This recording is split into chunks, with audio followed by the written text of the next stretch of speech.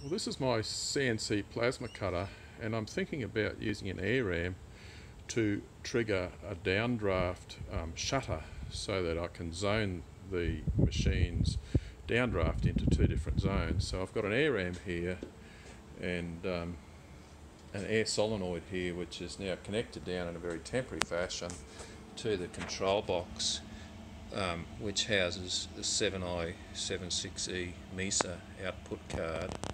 So what I'm going to do is come back up to the top here and see if one-handed I can trigger this um, by rolling the um, using the uh, pendant and the jog wheel to go past the halfway mark.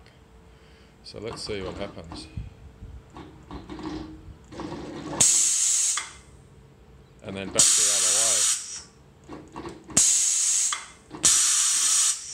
Just by moving the, um, it might be a bit hard to see there, but if we just come back here, we should see, um, I'm only moving about 3 mil.